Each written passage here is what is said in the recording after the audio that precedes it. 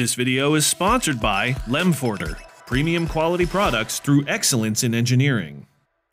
Since the 2011 model year, all power window systems have been mandated to include anti-pinch technology.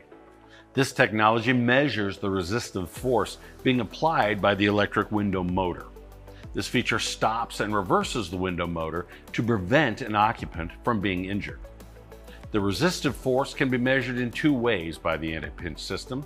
First, the force can be measured by the amount of current being drawn by the motor. Second, the position and force can be measured using a Hall effect sensor on the motor assembly. Most vehicles have one type of sensor. However, some vehicles will have two kinds of sensors. No matter how the force is measured, the condition of the window regulator, the tracks, and the motor are critical for the anti-pinch system to work as intended and not cause a false activation. You may get a customer at your shop complaining that it reverses and returns to the fully open position when they try to close a window.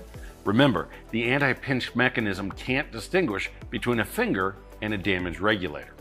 All the system knows is that the motor is drawing more amps or the motor speed has dropped. The root cause of the false activation could be any component that makes contact with the glass.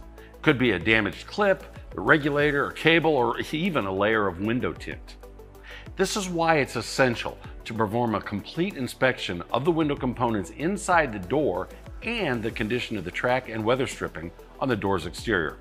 Just one damaged component can increase the force required to raise the window. When replacing a window regulator or motor, look at the procedures in the service information. Another option is to scan the QR code on the side of the box for this Lemförder window regulator. The installation instructions can save you from removing unnecessary components or damaging trim pieces. Thanks for watching. Lemförder, premium quality products through excellence in engineering.